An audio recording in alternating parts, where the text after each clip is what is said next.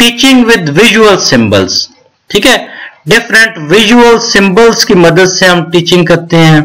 Visual symbol जो है, उन हर सिंबल का अपना मतलब होता है, जो जो मुख्तलिफ़ एक्सपीरियंसेस की मदद से इनडायरेक्ट वे में चीज़ों को समझाया जाता है। तो ये काफ़ी मदद करता है। फॉर एग्ज़ाम्पल हम ड्राइंग बनाते हैं, ठीक है? डिफरेंट किस्म की ड्राइंग एक बंदा हंस रहा है, या खेल रहा है, या उदास है तो हम विजुअल सिंबल्स की मदद से ड्राइंग में उसको दिखा सकते हैं।